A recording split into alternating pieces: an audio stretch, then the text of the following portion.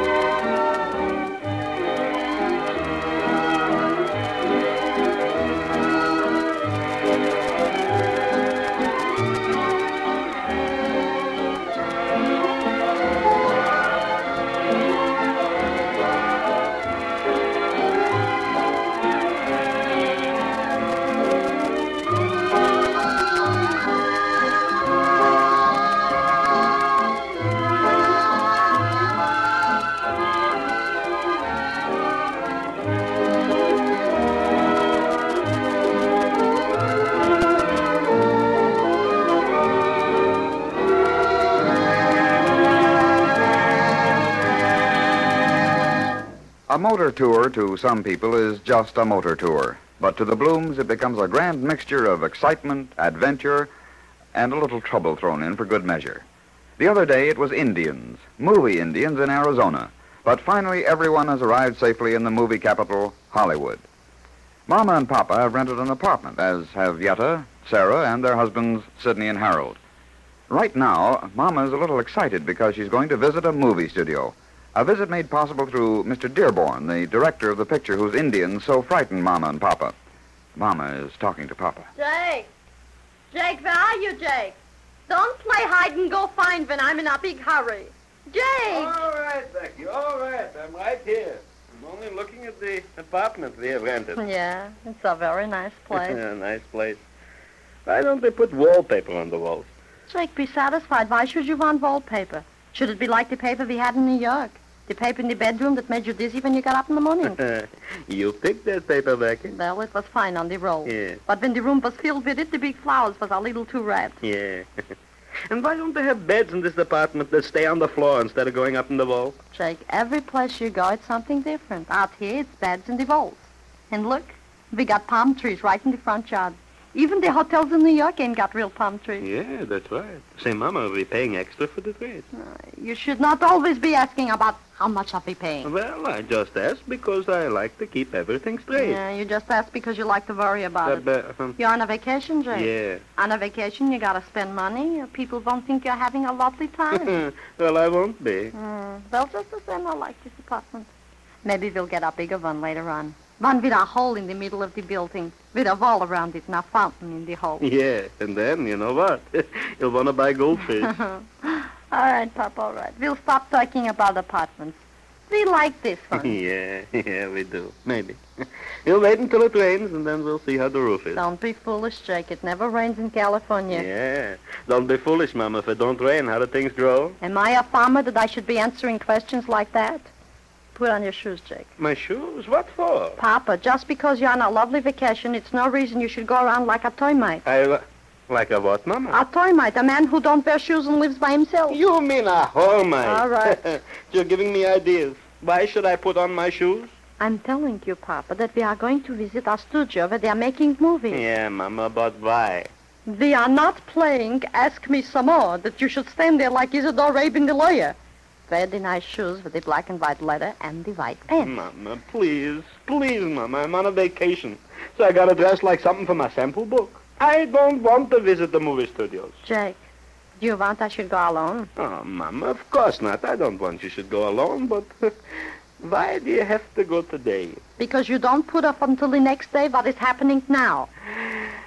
Mama, Mama, when you talk like that, I don't know what you're saying. And pretty soon I'm agreeing with everything you say. I promised Mr. Dearborn that we would visit his studios today. Should we tell him a lie, huh? I didn't promise him. I did, Jake. I see. All right, Mama, for you, I'll do it. Are the children going? Yes, and Sir are going to meet us there. And Sidney and Harold? And Cissy and Harold. So I'm on a vacation and still I gotta look at them. Oh, Papa, you should be ashamed. Sidney and Harold married to our daughters. They are very lovely boys. Yeah. And smart. Yeah, yeah, yeah. Didn't they think of the uniform? Sure, sure. Didn't they bring the man in who bought the knee pants factory lock, stock, and tub? No. He bought it. All right. but it was you, Mama. You who found out who he was. Well, that was very lucky, Jake. It's like I'm saying. Sometimes we work and work for something, and then we don't get it. But all of a sudden, something else happens that's very lucky. Mama, I don't know what you're talking about. I am saying that Sidney and Harold is smart boys because they brought the man. Even if he was trying to pull the wolf over our eyes. All right, all right, so they're smart boys. And we're going to visit a movie studio today.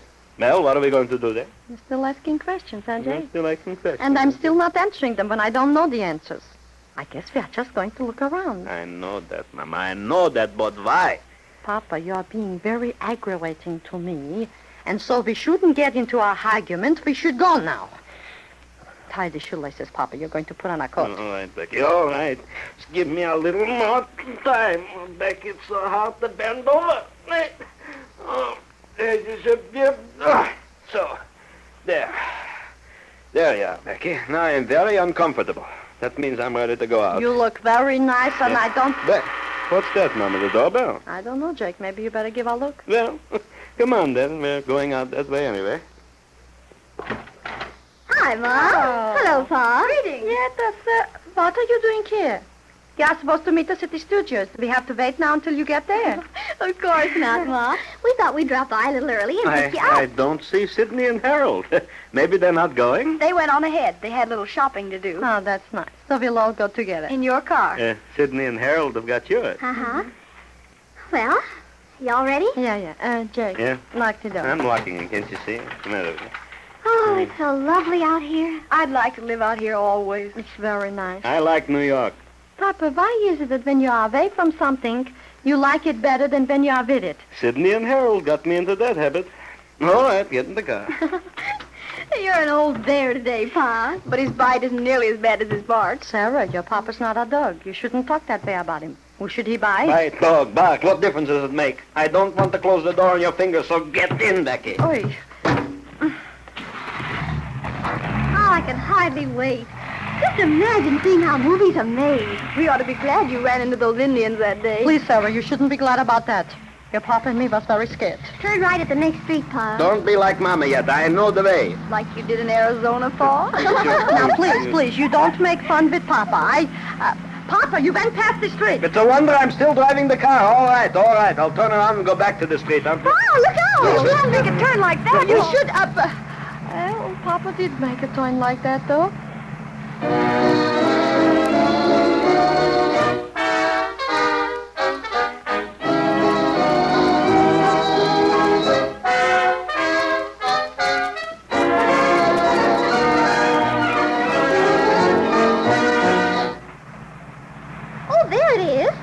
Where the studios are. Excello Pictures Corporation. Hurry up, Pa. I have already got three traffic tickets. Am I making a collection? No, Jake, three tickets is plenty for the first week we're here. I wonder if we can drive right in. I hear they're awfully strict about letting anyone in the studios. But we got an insulation. Invitation, Ma. Well, Mr. Dearborn told us we could come in to see him and the studios. I don't see Sidney and Harold. We couldn't have gotten here before they did. Sidney and Harold are probably making a picture already. Oh, Pa, you'd better not drive right in. Oh, I don't think you should, Pa. There's a man waving us to a stop. Hello? Hiya.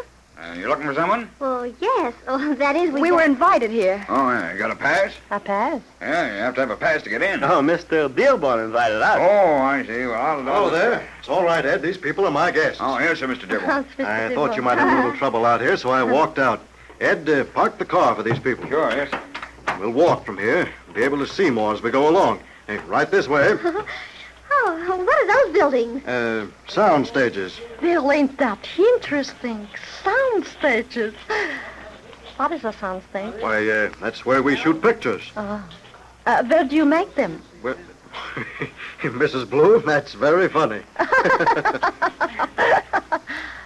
Is it?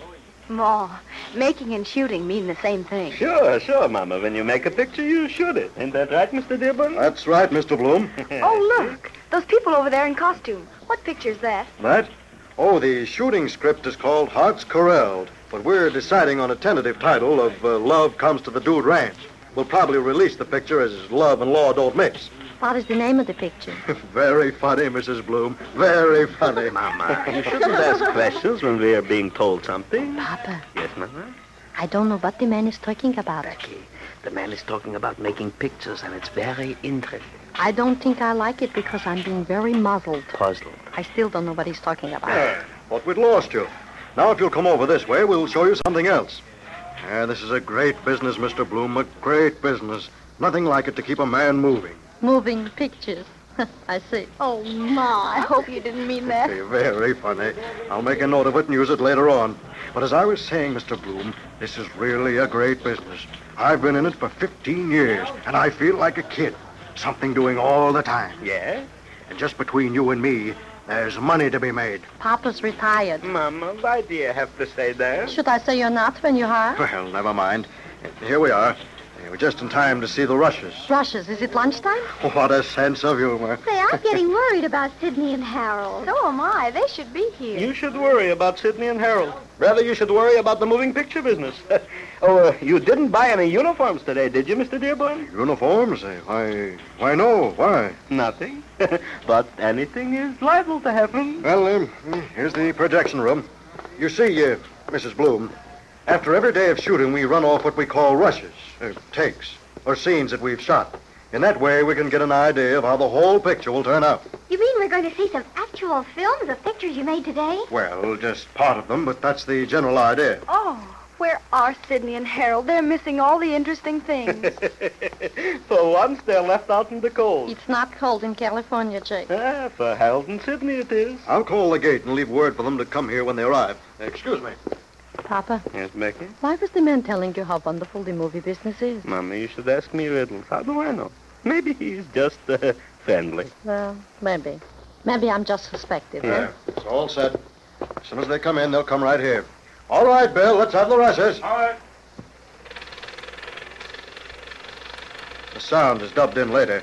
Oh, uh, these are rushes of the picture we worked on this morning. Mama! And it- Yep, Sarah! Papa, what's the matter? Look, those two schlemiels. Oh, my Uh, what's the matter? My dear. My, ain't that nice. Sidney and Harold already have got themselves in the movies.